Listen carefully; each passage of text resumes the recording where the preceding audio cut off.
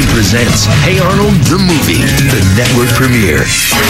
Big problems. What's going on? It's Scheck. He wants to buy up the whole neighborhood so he can knock it down and put up a fancy mall. Big adventure. If you're gonna try and save the neighborhood, you're gonna need some equipment. Big romance.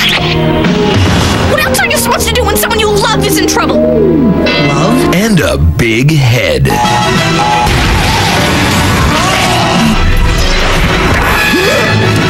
It's the network premiere of the big screen adventure Let's roll.